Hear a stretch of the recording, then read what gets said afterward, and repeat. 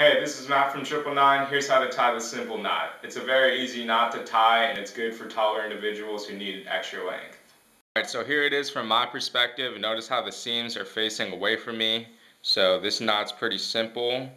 Um, all you have to do is put the wide end under the narrow end, cross it over to the right, bring it up through the loop, and feed it down through knot that you just created. Tighten it up, bring it up to the collar,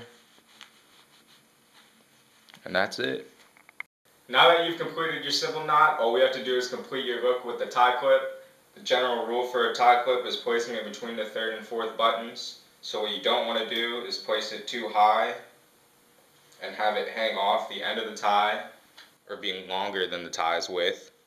You don't want to place it too low. So what it should look like, something like this. Notice how it's parallel to the ground and it's not tilted or slanted or anything.